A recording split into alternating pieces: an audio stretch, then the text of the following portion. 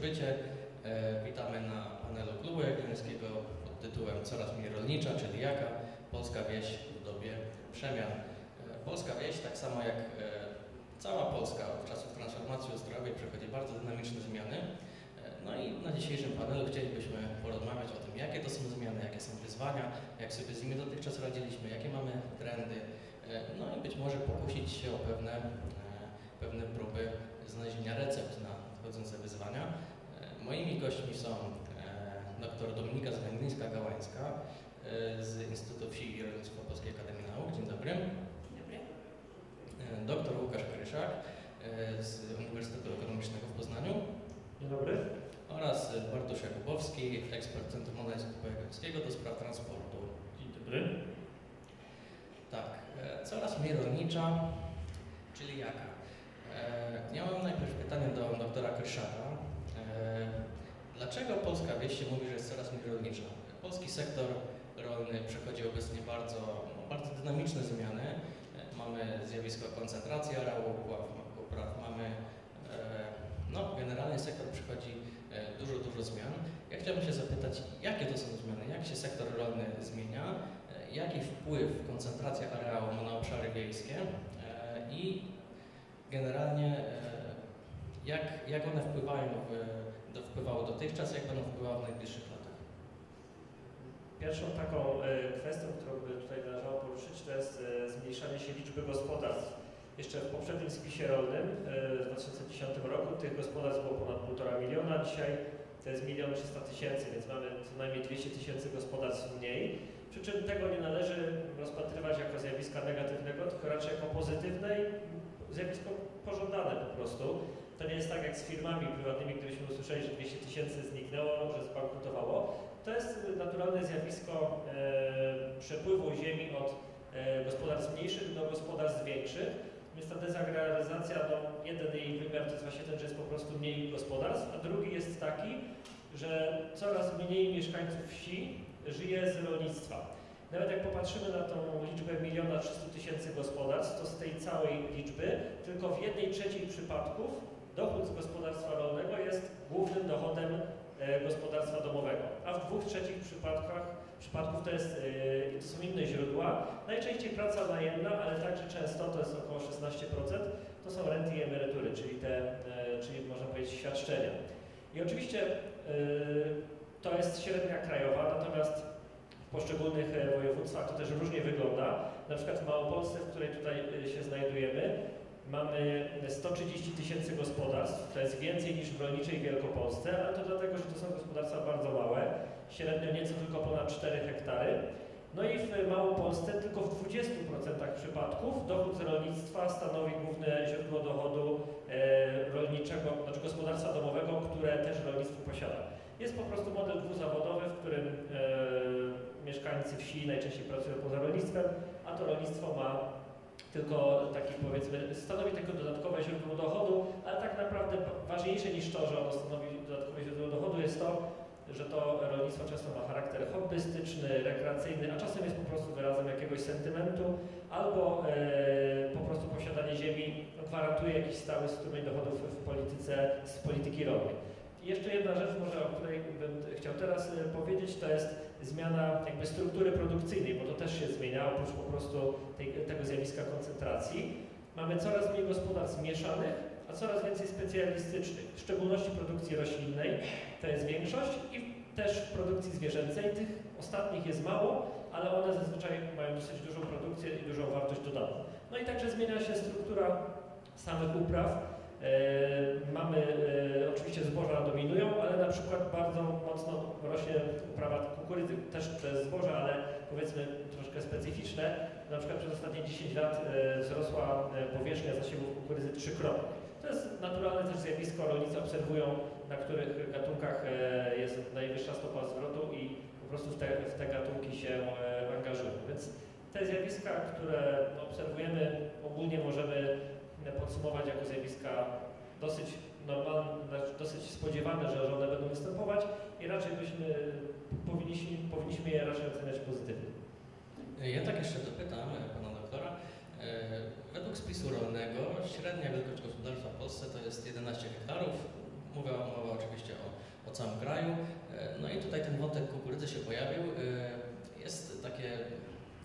tak, tak się mówi często, ja słyszę często takie głosy, że e, no, te dane e, o średniej wielkości gospodarstw rolnych to są dane oficjalne. Nieoficjalne mamy bardzo dużą szarą strefę, gdzie, gdzie e, no, często mamy tę bezumowną dzierżawę, gdzie rolnik powiedzmy e, na słowo honoru od, e, od okolicznych gospodarzy tą ziemię użytkuje w zamian na przykład za to, że właściciel tego gruntu będzie e, otrzymywał dopłaty, a rolnik, który ma już większy areał, ma profesjonalny park maszyn, ma prężne gospodarstwo, e, no on wtedy na tej ziemi e, gospodarzy i czy ten wzrost kukurydzy, produkcji kukurydzy też nie jest e, częściowo tym spowodowany, bo e, ja tak słyszę, że to jest e, roślina prosta w uprawie, że tam gdzie mam e, swoje grunty oficjalne, to sieję e, zboża powiedzmy, a tam gdzie bez umowy dzierżawę, to się sieje kukurydzę. Czy pan się doktor z tym? Tak, y, może rzeczywiście takie zjawisko występować. Rzeczywiście o tej e, nieformalnej dzierżawie się często mówi. No nie mamy dokład, dokładnych danych, bo jest to zjawisko nieformalne, więc trudno powiedzieć ja- jaka jest dokładnie skala, ale na poziomie takich oczywiście gdzieś tam anegdotycznych e, dowodów to niewątpliwie sam też e, znam takie sytuacje gdzieś tam funkcjonując, rozmawiając z rolnikami, często się z tym spotykam. W ogóle kwestia dzierżawy jest, jest bardzo interesująca w tym sensie, że Mamy regiony w Polsce takie, gdzie rolnik chcący sprzedać czy wydzierżawić swoją ziemię ma problem ze znalezieniem tego, kto by tą ziemię chciał zagospodarować. Tu mam na myśli na przykład niektóre obszary województwa podkarpackiego czy podlaskiego, a mamy też województwo wielkopolskie, w którym nawet przy oficjalnym obiegu za dzierżawę trzeba płacić tak wysokie stawki, że praktycznie jest to ekonomicznie nieracjonalne. I powstaje pytanie, po co ktoś dzierżawi ziemię, żeby płacić za nią tak dużo, że mu się to w sumie nie opłaca. I odpowiedź jest taka, że e, rolnicy często liczą, że jak wejdą w taki system e, dzierżawy, to po kilku latach ten właściciel, mówiąc kolokwialnie, wymięknie i w końcu zdecyduje się ziemię sprzedać. I to jest często e, takie preludium do zakupu. No bo to jest jedyne w zasadzie racjonalne wytłumaczenie w ogóle te, tego, tego zjawiska. To pokazuje, jak różny jest rynek ziemi, w ogóle rolnictwa, ale też rynek ziemi w Polsce. Jakby zupełnie inne zjawiska są obserwowane na tych obszarach, gdzie jest bardzo wysoki popyt na ziemię przy relatywnie małej podaży, a inne zjawiska tam, gdzie jest relatywnie duża podaż przy małym popycie. Czyli trochę jest tak, że duży zjada małego i to też wydaje mi się ma e, swoje odzwierciedlenie ogólnie w, w rozwoju e, Polski, w, w migracjach wewnętrznych i chciałem e, Panią doktor zapytać, czy jest tak na dobrą sprawę coś takiego jak polska wieś? Czy pod tym, e, czy pod tym e, takim sformułowaniem jest jakiś taki e, przykładowy, stereotypowy przykład, tak, taka przeciętna polska wieś, czy jest coś takiego? Mamy wsi podmiejskie pod aglomeracjami, które tak na dobrą sprawę są już sypialniami dla tych dużych miast. Mamy te wsi peryferyjne, które są z kolei od dużych miast oddalone. Więc chciałbym się tak Pani doktor zapytać, jakie mamy trendy generalnie w Polsce odniesieniu do obszarów wiejskich, może z podziałem na, e, na te dwa typy, może więcej. E, Jak wygląda kwestia dostępności usług publicznych, e, demografii, struktura dochodowa? Chodzi oczywiście o ogólny zarys tutaj bez, bez może konkretnych danych statystycznych, ale żeby tak big picture zarysować. No cóż, no właściwie chyba w Polsce jest tak, że ta wieś składa się właśnie z dwóch wsi, z tej wsi peryferyjnej i podaglomeracyjnej. Ja osobiście zajmuję się głównie tymi podaglomeracyjnymi. Te, peryferyjną w swoich badaniach traktuję trochę na zasadzie e, opozycji e, i przeciwstawności. I te dwie wsie właściwie kreują przede wszystkim właśnie te selektywne migracje, czyli z tych obszarów słabo rozwiniętych do obszarów lepiej rozwiniętych. Bardzo często to ta ścieżka migranta jest taka, że on właśnie z obszaru peryferyjnego przejściowo mieszka w mieście, na przykład studiując, wtedy zakłada rodzinę i w momencie założenia rodziny te osoby przenoszą się em, pod miasto i to powoduje, że te obwarzanki pod dużymi miastami, a teraz także pod mniejszymi, tymi na przykład dawnymi miastami wojewódzkimi coraz bardziej się, e, coraz bardziej się rozlewają.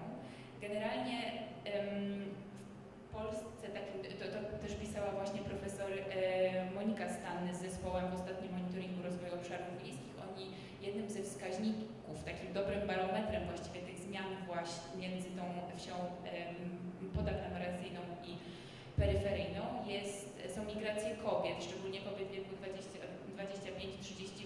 bo one bardzo dobrze pokazują, że właśnie to następuje to wypłukiwanie e, z tych e, miejsc słabo rozwiniętych do e, miejsc bardzo wysoko, rozwi wysoko rozwiniętych, może bez bardzo. I właśnie w tych, w tych miejscach, które są wyżej rozwinięte, w tych wsiach podaglomeracyjnych jest nadprodukcja kobiet, jest znaczny stopień feminizacji i to jest bardzo, bardzo tam widoczne widzenia moich badań, czyli z punktu widzenia struktury społecznej, e, te, te dwie wsie też się bardzo, e, bardzo między sobą różnią. I właściwie jeśli odwoływać się do struktury społecznej i do tego, jaka jest polska wieś, to trzeba było powiedzieć, że ona nie jest rolnicza, ona jest po prostu robotnicza, bo to właśnie ludzie wykonujący zawody robotnicze sięgają połowy populacji w, e, w ogóle i w obydwu tych typach.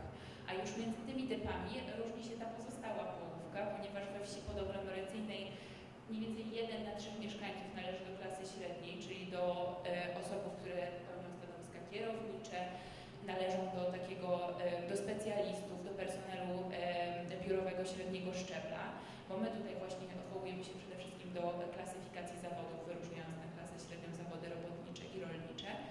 I wracając już do wsi podaglomeracyjnej, e, tak jak powiedziałam, połowa to są robotnicy, jeden na trzech to, są, to jest klasa średnia, a pozostała część to są rolnicy. Natomiast w tych wsiach peryferyjnych te odsetki są trochę inne, bo robotnicy owszem sięgają od 40 nam do 50% powiedzmy, e, 30% tutaj to są właśnie rolnicy i pozostała część to jest, to jest klasa średnia. No i za tym, za tym różnym składem społecznym tych dwóch typów wsi idą także e, inne usługi, bo e, we wsiach podaglomeracyjnych najwięcej osób pracuje w usługach, potem mamy ten sektor przemysłu, który jest no, marginalny i jeszcze bardziej marginalne jest rolnictwo, natomiast we wsi peryferyjnej mamy, mimo tego, że tych rolników nie jest aż tam tak bardzo dużo, to mamy właśnie rolnictwo, przemysł i tutaj jakby e, rolnictwo uzupełnione usługami i dopiero potem jest przemysł. Ja bym chciała zwrócić uwagę na tą strukturę usług, bo ona jest bardzo różna w tych dwóch typach e, wsi. W wsi peryferyjnej to są usługi, które są nastawione na obsługę mieszkańców. Przede wszystkim to są właśnie szkoły, ośrodki zdrowia, urzędy, e, a w, w tej wsi podaglomeracyjnej usługi są nieco bardziej takie wyspecjalizowane i one tutaj są bardzo nastawione na obsługę dużych miast, w których e, mieszkańcy po prostu łączą pracę w mieście z e, życiem pod miastem. Dziękuję. E, Pytanie do Bartosza Jakubowskiego wtedy o transport. Bardzo popularne ostatnio stało się pojęcie wykluczenia transportowego w polskiej debacie publicznej. No i ja chciałbym ten temat trochę poruszyć, bo to jest kwestia często podnoszona w kontekście debaty o właśnie o tej wsi peryferyjnej, generalnie o obszarach peryferyjnych, że, e, że tam po prostu nie- dojeżdża ani pociąg, ani autobus. E, Według e, Polskiej Akademii Nauk co czwarte sołectwo w Polsce nie ma dostępu ani do pociągu, ani do autobusu. E, No ale z drugiej strony na to patrząc, to e, że z moich doświadczeń, bo znów jest to e, anegdotyczny dowód, a także z badań wynika, że generalnie mieszkańcy wsi, szczególnie tych peryferyjnych, są zmotoryzowani.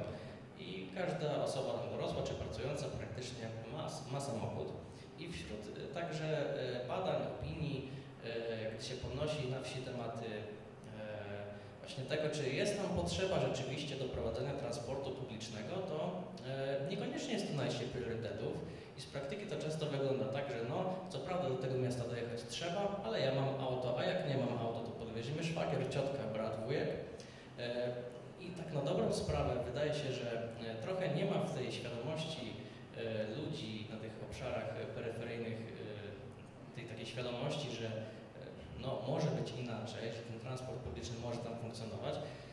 I główną taką jego przeszkodą wydają się koszta, tak? no bo transport publiczny generalnie kosztuje. Tylko czy, czy opłaca się rzeczywiście inwestować duże pieniądze w transport publiczny w tych obszarach peryferyjnych, jeżeli tam e, no, są, są ludzie zmotoryzowani, jakoś sobie radzą, e, czy to opłaca się, czy to jest w ogóle kierunek, który warto, e, warto iść w tym kierunku, czy może raczej e, znaczy, może jakaś alternatywa jest. To dużo pytań w jednym pytaniu tak naprawdę, więc e, zawsze pytanie o to, czy transport się opłaca, to e, tej politycy z lewej strony lubią mówić, nie traktujmy tego w, w kategoriach kosztu, a w kategoriach inwestycji. To, to znaczy, co to znaczy w kategoriach inwestycji? To znaczy e, pewna atrofia części usług e, nie tylko publicznych, ale też i prywatnych na wsi e, wynika właśnie z tego, że część się przeniosła do miast, ponieważ założono zgrubnie, że ludzie właśnie sami sobie poradzą i do nich dojadą. I efekt tego edukacji, to znaczy w Polsce mamy tak naprawdę trzy klasy edukacyjne. Mamy klasę najgorszą, czyli to jest najgorsze dno, czyli szkoły wiejskie. Potem mamy szkoły w miastach i nawet w ramach jednej gminy miejsko-wiejskiej już widać te dwa poziomy, po czym mamy trzy prywatne szkoły w największych aglomeracjach. E, I to już, już na tym poziomie widać. E, I często się czasem o tym mówi, że no zamknijmy lokalną szkołę. No dobrze, ale to oznacza, że ci uczniowie będą musieli dojechać. No ale czym będą mieli dojechać? No i tu właśnie pojawia się ten problem, po- polegający na tym, że w Polsce cały transport lokalny, autobusowy oddaliśmy na pastwę wolnego rynku. E, Jeżeli ktoś uważa, no co w tym złego, no to w tym złego, że w żadnym kraju europejskim tak się nie dzieje. Nigdzie nie ma tak, żeby rynek, żeby rynek prywatny całkowicie przejął przewozy e, lokalne. Tak? To się dzieje w przewozach dalekobieżnych, e, w przewozach międzyregionalnych, ale nigdzie nie jest tak, żeby na pastwę wolnego rynku zostawiano przewozy pasażerskie wewnątrz jednego powiatu albo na pograniczu dwóch powiatów nawet, ale głównie dotyczące obsługi terenów wiejskich, tak? czyli na przykład dwa, dwie miejscowości powiatowe i miejscowości mniejsze po drodze. E, Co powoduje na przykład to, że w Polsce wielokrotnie zdarzało się, e, że przewoźnik prywatny zawieszał kursy w trakcie roku szkolnego, kursy, które którymi jeździli uczniowie szkół średnich. I co mieli zrobić w trakcie? To poradźcie sobie, ale my nie możemy jeszcze jeździć samochodem, co nas to obchodzi, tak? Yy, I jeżeli mówimy o tym, że to kosztuje pieniądze, to zawsze jest mowa o tym, że to kosztuje jakieś horrendalne, niewyobrażalne pieniądze, to nie jest prawda. Yy, Co to znaczy, że to nie jest prawda? To znaczy, że źle zorganizowany transport publiczny, yy, tak, on kosztuje ogromne pieniądze. Jeżeli organizujemy go źle, jeżeli autobusy jeżdżą rzadko, jeżeli nie umiemy zaplanować rozkładu jazdy, nie umiemy zaplanować tego, kogo on ma wozić, dlaczego, po co, to tak, to on jest bardzo drogi. To samorządowcy lubią żądać, że od za mało dopłaty nam oferujecie w ramach Funduszu Rozwoju Przewozów Autobusowych. Złotówka to było za mało, musicie nam dać 3 zł. Teraz słyszę, że już nie 3 zł, to już teraz 6. Mówię, możemy nawet dać i 50 zł dopłaty, ale to nie jest problem. E, Lubię powoływać na przykład powiatu lipnowskiego, bo to jest powiat jeszcze dość mocno zagrawyzowany. Tam jest y, niska liczba osób pracujących w przedsiębiorstwach, szczególnie dużych.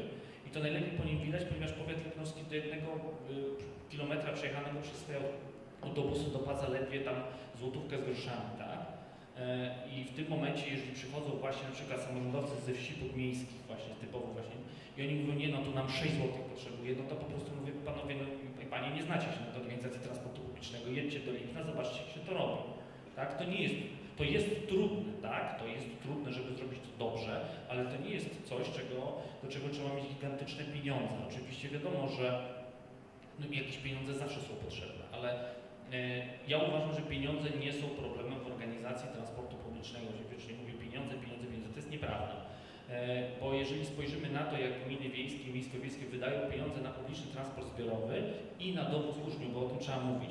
E, Wiele gmin twierdzi, że nie organizuje transportu i są takie ludzie, którzy mówią, nie wiedzą, że mówią prozą. To znaczy każda gmina organizuje transport uczniów, tylko jedno robią to lepiej, inne gorzej i wychodzi, że zasadniczo, jeżeli weźmiemy gminy wiejskie gminy wie- miejsko-wiejskie w Polsce, to się okazuje, że średnio każda z nich daje 0,8% budżetu na e, dowóz uczniów i 0,8% budżetu na e, publiczny transport zbiorowy. Tylko dowóz uczniów robią wszystkie, a transport publiczny robią te, które chcą. Więc okazuje się, że jeżeli gmina ma obowiązek dowieść uczniów, to ona to robi. Lepiej lub gorzej. Często ten transport jest bardzo niskiej jakości, ale robi to, więc y, oczywiście więcej pieniędzy wydają te wsie właśnie typu, typu aglomeracyjnego, podmiejskiego, gdzie ta presja na to, żeby dojechać do miasta jest duża z uwagi na to, że po prostu jest kongestia drogowa, tak? Że te potoki, pod, y, raz, że są korki, dwa, że jest kwestia tego, że tych pasażerów jest w oczywisty sposób dużo, no bo jest duża atrakcja. Te uważanki wokół tych mniejszych miast właśnie y, mają ten problem, że tam nie ma tej, tej presji, nie ma presji związanej właśnie z korkami, te potoki pasażerskie nie są tak duże, pasy przewodnicy prywatni, którzy obsługiwali połączenia e, właśnie do małych miast, e, albo padli e, tuż przed pandemią, albo padli przez zabił ich COVID po prostu, trzeba to powiedzieć wprost. Tak? Już kiedy ta opłacalność w momencie, kiedy szkoły zostały zamknięte, kiedy ten główny żywiciel publicznego transportu zbiorowego poza miastami padł, e, a emerytom kazano siedzieć w domach, no to po prostu już nie miał kto tym jeździć, no bo jeżeli transport zbiorowy był organizowany, nie było właśnie nie był organizowany, po prostu został puszczony na pastwę wolnego rynku, więc jeździli nie tylko ci, którzy musieli, no kto musiał jeździć? Ci, którzy nie mają prawa jazdy. kto nie ma w Polsce prawa jazdy, ci, którzy nie mają 18 lat oraz starsze kobiety na wsi. Bo zasadniczo, jeżeli spojrzymy na to, kto w Polsce ma prawo jazdy, no to widzimy duże niedoreprezentowanie starszych kobiet, bo kobiety na przykład, to jest ciekawostka, w najmłodszej grupie wiekowej w Polsce częściej robią prawo jazdy niż mężczyźni już teraz. Natomiast to są te dwie grupy, ale na dwóch grupach, które po pierwsze jedna jest liczna, mam na myśli tutaj starsze kobiety, yy, i druga, która, jest, yy, która się ciągle kurczy, czyli dzieci, no nie można oprzeć publicznego transportu zbiorowego, bo się zawali. No to jest próba oparcia biznesu na czymś, co jest, yy, co z definicji nie ma zbyt dużych pieniędzy, tak? No to nie ma, nie ma, ja lubię mówić o tym, że jeżeli robimy transport dla tych, którzy muszą jeździć, to jeżeli oni nie będą musieli jeździć, to, to nie pojadą, tak? Ale jeżeli mamy transport oparty na tych, dla tych, którzy chcą jeździć, no to możemy robić różnego rodzaju, możemy poprawiać rozkład jazdy, możemy uruchamiać nowe trasy, możemy y, sterować cenami biletów, możemy robić całą masę rzeczy, żeby tą grupę zwiększać. Natomiast jeżeli kierujemy transport publiczny, transport zbiorowy do grupy, która musi jeździć, no to w oczywisty sposób ona ucieknie przy pierwszej możliwości, tak? Y, Więc nie jesteśmy w stanie sterować popytem tej grupy, bo on jest niesterowalny. Y, I to jest odpowiedź na pytanie, czy on się opłaca. On może się opłacać w tym sensie, że znowu odwołam się do doświadczeń powiatu litnowskiego. Starosta litnowski powiedział taką rzecz, że dla niego publiczny transport zbiorowy był narzędziem do tego, żeby zatrzymać uczniów szkół średnich w powiecie, bo on dostaje do nich subwencję oświatową. Więc jeżeli oni tam zostaną, a nie uciekną do internatu we Włocławku, e, w Brodnicy, w Toruniu, to te pieniądze, które on zainwestuje w publiczny transport zbiorowy, one do niego wrócą w szkołę. I tak jest z całą masą usług publicznych, które nam, te pieniądze nam zostaną na miejscu. Y, Bo przecież to wszystko, co jest z tym związane, ludzie nie jeżdżą autobusami dla zabawy, tylko jeżdżą autobusami w celu załatwienia konkretnych spraw, za- zaspokojenia konkretnych potrzeb, więc jeżeli oni będą zaspokajać te potrzeby tu, na miejscu i dodatkowo zapłacą za bilet tu na miejscu organizowany przez ten samorząd, a nie zapłacą y, tych pieniędzy na Orlenie płacąc za benzynę, to te pieniądze zostaną w powiecie, te powiecie zostaną w gminie. Czyli rozumiem, o trzeciej w nocy jakby ktoś Pana obudził się zapytał, czy transport publiczny to jest koszt czy inwestycja, Pan by powiedział, to zależy. Inwestycje. Inwestycja. No dobrze. E, Pytanie do doktora Kryszaka. E, Pan wspomniał o koncentracji e, gospodarstw, o koncentracji produkcji rolnej. Ja bym tak chciał się podpytać, co w takim razie, tak mówiąc brzydko, zrobić z tymi ludźmi, którzy przechodzą z tego sektora rolnego do innych sektorów? Jak ich wspierać?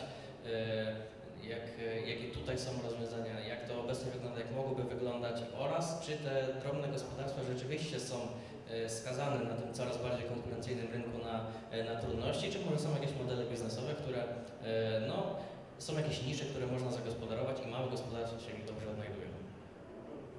No może zacznę od tych małych gospodarstw. My często rzeczywiście w debacie mówimy o tych małych gospodarstwach, no bo jest ich bardzo dużo, tak? Mówimy, jest milion trzysta tysięcy, dobrze ponad milion to są te, te małe, kilku, maksymalnie kilkuhektarowe gospodarstwa. Więc wydawałoby się, że jeżeli mówimy o załóżmy milionie gospodarstw rolnych razy kilka osób mieszkających w gospodarstwie domowym czy tym e, gospodarstwie rolnym, no to mówimy o kilku milionach e, osób i także oczywiście wyborców. Natomiast ten problem jest troszeczkę przeceniany w tym sensie, że ogromna większość e, osób, które takie gospodarstwa mają, z tego rolnictwa nie żyje. I w tym kontekście, jeżeli ktoś ma 70, 80 albo 95% dochodów spoza e, rolnictwa i ma te kilka hektarów, to szczerze mówiąc to, czy on będzie tam generował bardzo wysoki dochód, czy średni, czy nawet niski, to bardzo nie wpływa na, na dochód tej rodziny rolniczej. Natomiast pytanie oczywiście, co zrobić z tą mniejszą, w sumie niedużą grupą, ale jednak jakąś grupą e, osób, które mają małe gospodarstwa, jednak e, jest to dla nich e, główne źródło dochodu. I tutaj rzeczywiście, jeżeli te gospodarstwa chciałyby naśladować średnią taką strukturę produkcji, jaką mamy w Polsce, tylko ją po prostu przenieść na, na mniejszy e, areał, to oczywiście e, te dochody będą bardzo niskie. Według GUS-u, e, gdybyśmy podzielili całą wartość produkcji rolniczej e, w Polsce e, na hektar i wyciągnęli z tego wartość dodaną brutto, czyli odjęli jeszcze zużycie pośrednie, no to mamy około 3000 zł na hektar, więc prosty rachunek, że z kilku hektarów razy średnio oczywiście pamiętając o wszystkich ograniczeniach średniej ki- kilka e, hektarów razy 3000 zł, to jest oczywiście dochód zbyt niski do, do, do przeżycia na dobrym poziomie. Także co mogą te gospodarstwa zrobić? To na pewno mogą poszukać jakichś e, mniej oczywistych kierunków produkcji. E, Chociażby tutaj e, może to być produkcja winiarska teraz, która jest, staje coraz bardziej popularna, ale to też jest troszkę tak, że po prostu mamy bardzo niską bazę, więc to, że tam procentowo tych gospodarstw jest więcej, to jest troszkę efekt bazy. Ale może być to produkcja roślinna czy, przepraszam, warzywna. Tyle tylko, że ta produkcja, ona generuje wysoką wartość dodaną w przeliczeniu na hektar i z kilkuhektarowego gospodarstwa, które ma warzywa, e, można już osiągać dosyć dobry dochód. Tylko jest jeden e, istotny problem. Ta produkcja jest dosyć pracochłonna. Jeżeli mamy rodzinę, gdzie jest kilka osób gotowych do zaangażowania się w tym gospodarstwie, to to jeszcze funkcjonuje. Natomiast wielu rolników oczywiście ma dzisiaj problem z tym, że nie może znaleźć po prostu osób do pracy w rolnictwie, szczególnie e, takiej, no, jeżeli mówimy o pracy sezonowej. I to jest na pewno, na pewno poważna bariera. No, niemniej w wielu regionach następuje właśnie ten proces odpływu tej e, ziemi od tych mniejszych gospodarstw do większych i to, to jest generalnie dobry, e, dobry, dobry proces. I może jeszcze jedno zjawisko, o którym tutaj warto powiedzieć, bo często się mówi, że małe gospodarstwa, nawet jeżeli nie generują wysokich dochodów, to w zasadzie one e, generują inne funkcje. To w ekonomii mówimy o dobrach publicznych, że te gospodarstwa dostarczają kwestie, to znaczy realizują kwestie środowiskowe, czy kwestie społeczne, czy e, chronią kulturę e, pewną wiejską. To, to jest do pewnego stopnia prawda, ale też bym chciał zwrócić uwagę na to, żebyśmy nie ulegali takiemu mitowi, że małe gospodarstwo to jest z definicji to tak zwane bardziej ekologiczne. E, Mówię ekologiczne w takim e, sensie potocznym, nie chodzi mi teraz tutaj o certyfikację, a duże gospodarstwo to pewnie będzie nieekologiczne, jakieś tam industrialne. To często tak nie jest, wręcz przeciwnie, to często właśnie duże gospodarstwa są tym miejscem, gdzie te e, innowacje prośrodowiskowe się wdraża, bo tam tymi gospodarstwami zajmują się profesjonalni rolnicy, wykształceni, przygotowani, znający chociażby te ekoschematy, które teraz mamy w nowej perspektywie e, rolnej i chętnie je wdrażający, więc też chciałbym tylko zwrócić uwagę na to właśnie, żeby tak nie patrzeć na te małe, że one są na pewno bardziej jakoś środowiskowe. Często tak nie jest. Niemniej no, drogą dla nich jest rzeczywiście wyspecjalizowanie się albo po prostu transfer tej ziemi e, do, do, do większych gospodarstw. To myślę, że są te dwie ścieżki. Teraz co oczywiście z, z, tymi, z tymi ludźmi? No jeżeli ten transfer następuje w sensie, że część ludzi jednak decyduje się, tych dwuzawodowców szczególnie, te małe gospodarstwa jakby dzierżawić czy sprzedawać ziemię, bo dochody z innych źródeł są dla nich na tyle duże i zaangażowanie czasowe na tyle jest tam duże, że już po prostu im nie wystarcza siły i chęci, żeby jeszcze dodatkowo tymi kilkoma hektarami się zajmować, to, no to, to właśnie oznacza, że rynek pracy jest na tyle dobrej kondycji, że ci ludzie e, tą pracę odnajdują. Na przykład w Wielkopolsce bardzo często nawet na obszarach wiejskich można znaleźć na tyle atrakcyjne źródło pracy, że mm, jakby zaangażowanie się na 100% w pracę zawodową, a pozostawienie, e, wdzierżawienie większemu rolnikowi tych kilku hektarów, czy nawet sprzedaż, jakby wchodzi e, z, zupełnie w grę. Oczywiście większy problem może być na tych obszarach, gdzie tych gospodarstw małych jest szczególnie dużo, a rynek pracy nie jest tak rozwinięty. Tutaj, e, tutaj to jest na pewno wielkie, e, wielkie wyzwanie, ale też nie wydaje mi się, żeby to zjawisko było aż tak nasilone w większości krajów, poza może rzeczywiście e, ścianą wschodnią, gdzie, gdzie tych miejsc pracy nie ma, no i następuje migracja szczególnie kobiet do, do dużych miast, no, czyli mężczyźni, mężczyźni pozostają. To rzeczywiście jest, jest. Dziękuję. Pytanie do Pani Doktor. Trochę takie może przewrotne. E, Jakiś czas temu w Polsce taką, takim głośnym hasłem, e, głośnym echem e, odbiło się sformułowanie modelu polaryzacyjno-dyfuzyjnego w kontekście e, rozwoju Polski. E, No i patrząc na te trendy i na ostatnie lata, e, no można powiedzieć, że polaryzację mamy, ale dyfuzję niekoniecznie. No i teraz e, takie pytanie do Pani Doktor. Czy Pani się zgadza z tym, że powinniśmy dążyć do tej dyfuzji, czy może jakąś inną, e, może jakąś inną drogę dla, e, dla tych obszarów peryferyjnych Pani ma? Może e, smart shrink, może jakieś inne rozwiązania, może jakieś przykłady obszarów peryferyjnych, które, które no, poradziły sobie z tymi e, negatywnymi trendami? Ja em, jestem chyba trochę ze szkoły profesora Gorzelaka, który uważał, że trzeba trzeba tutaj dążyć do, e, do działania, bo pewnych procesów po prostu nie zatrzymamy. My w Instytucie mieliśmy bardzo dużo dyskusji na temat tego, jak, co zrobić z takimi obszarami, które się po prostu wyludniają, co zrobić z wsiami, na których czasem, za jakiś czas prawdopodobnie zostaną trzy domy yy, i w jednym tylko będzie jakiś jeden człowiek. Jak dostarczać im usługi? To będą przede wszystkim usługi prawdopodobnie dla usługi senioralne, tak?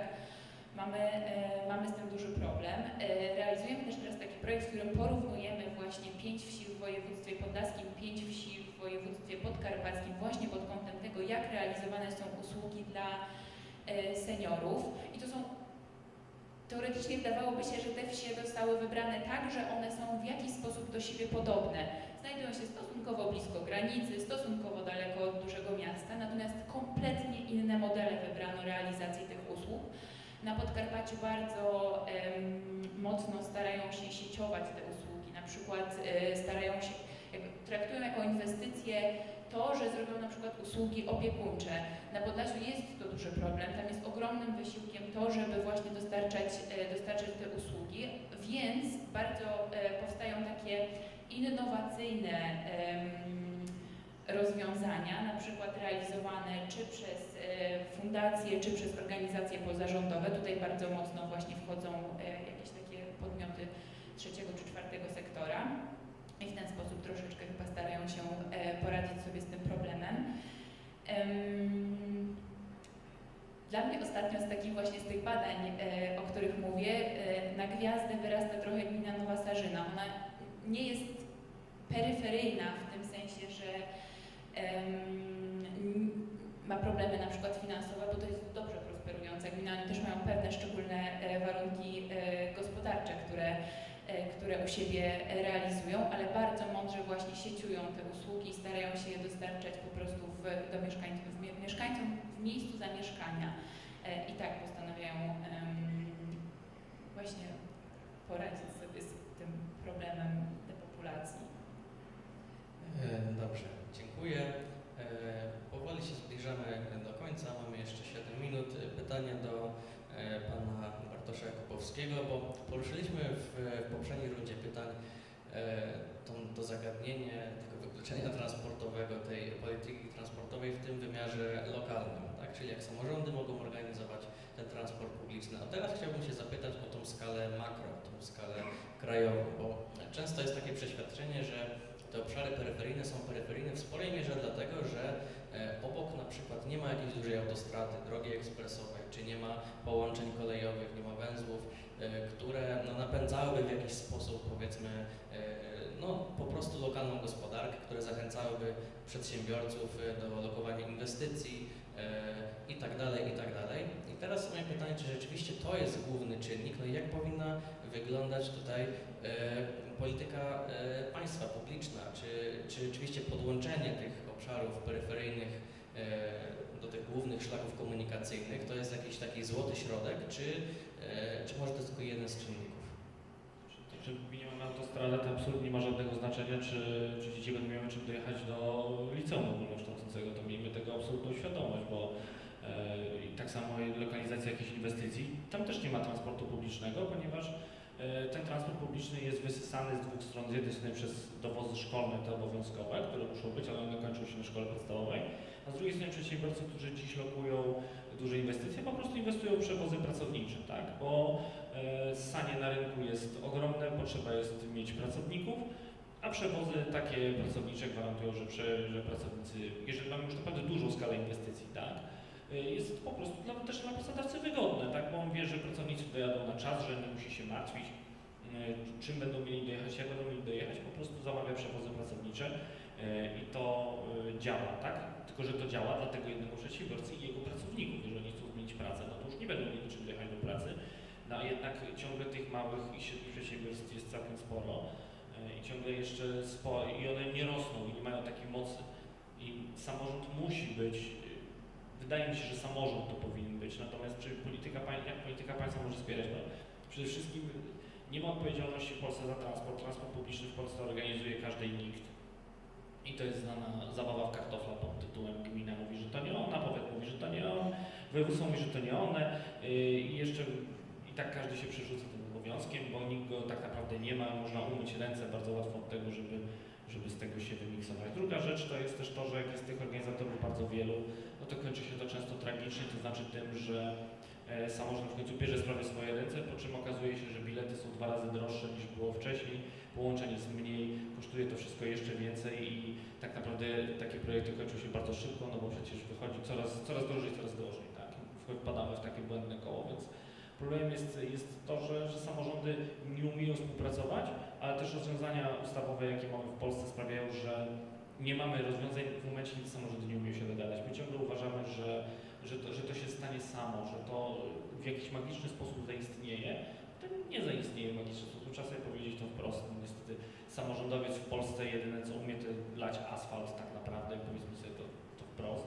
No bo tak jak było wspomniane na początku, tak, jedna czwarta sołectw nie ma dostępu do transportu publicznego jakiegokolwiek, nawet w postaci bieda transportu typu jeden autobus w dzień nauki szkolnej, ale tylko 2% sołectw nie ma drogi utwardzonej, więc mitem jest jakieś mówienie, że nie mają te autobusy po czym jeździć. Mają po czym jeździć, oczywiście, że mają. Wylano w Polsce gigantyczną ilość asfaltu przez ostatnie e, 20 lat i to jest, to jest fakt. Natomiast po tym asfalcie mogą jeździć tylko ci, którzy są na tyle sprawni i bogaci, żeby mogli mieć samochód. I to jest absolutny zamach w ogóle na jakieś konstytucyjne prawo równości. O czym wielokrotnie Rzecznik Praw Obywatelskich i ten i poprzedni podnosili, że to jest po prostu naruszenie prawa do wolności, wolności do przemieszczania się. A druga jest też y, kwestia taka, że no jest to równość szans, tak? Y, I też, też się o tym wspomina. Czy Państwo może w ten sposób zadziałać? Tak, no można, można ustalić jasne standardy obsługi komunikacyjnej i, i myślę, że jeszcze przez pewien czas to będzie trwało, zanim do samorządowców dotrze to. E, Tylko, że no to też trzeba zwrócić uwagę, że to każda, każdy dzień e, sprawia, że to będzie coraz trudniejsze, właśnie z uwagi na to, że się wyludnia, e, właśnie z uwagi na to, że te połączenia autobusowe, których jeszcze niedawno można było dopłacić mało, żeby one funkcjonowały w takim stanie, teraz trzeba być każdym, z każdym dniem zwłoki z organizacją profesjonalnego transportu publicznego będzie kosztował nas coraz więcej. To jest cały czas zwlekanie oznacza coraz większą stratę, coraz większe koszty, coraz większy problem związany z tym, że już faktycznie nie uda się tego podnieść. Tak? To już jest, to mamy sytuację, że nam opada i im szybciej sięgniemy ręką, to tym szybciej dążymy złapać to zanim to spadnie całkowicie. Już nie będzie czego zbierać. W takim razie miejmy nadzieję, że do samorządowców dotrze to szybciej niż później, zanim będzie już za późno i zanim e, będzie plaga w Polsce wsi, gdzie na e, całą wioskę są trzy domy, w którym jedna osoba. E, na dzisiaj to wszystko.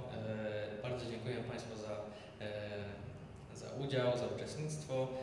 Ja się nazywam Bartosz Mielniczek, moi, moi goście dr Łukasz Kryszak, Dominika z Węgierskiego OSP oraz Bartosz Kowalski. Dziękujemy.